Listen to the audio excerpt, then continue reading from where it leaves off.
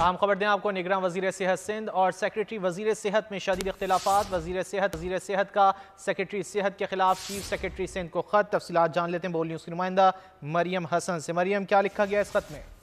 देखिए, बिल्कुल निगरा वज़ीर सेहत डॉक्टर साद खालिद न्याज ने चीफ सेक्रेटरी को जो है वो खत लिखा है और खत का मतन कुछ इस तरीके से है कि सेक्रेटरी सेहत सिंध गैर कानूनी इकदाम का सबब बन रहे हैं। आलमी बैंक के प्रोग्राम के लिए असामियों की कमेटी की मंजूरी दे दी।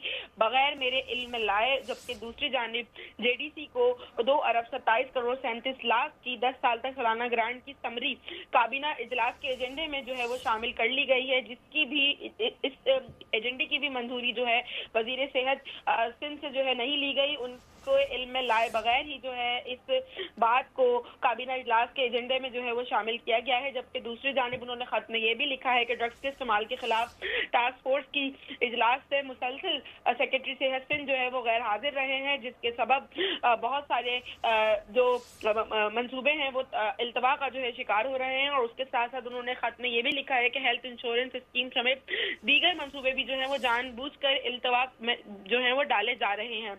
जिसके बाद जो है चीफ हेल्थ मिनिस्टर ने चीफ सेक्रेटरी सिंह से दरख्वास्त की है कि फौरी तौर पर सेक्रेटरी सेहत सिंध के खिलाफ जो है कार्रवाई अमल में ली जाए बसूरत दीगर वो अहदे से अपने इस्तीफा दे देंगे। बहुत शुक्रिया मरियम हसन इन तफसीत के लिए।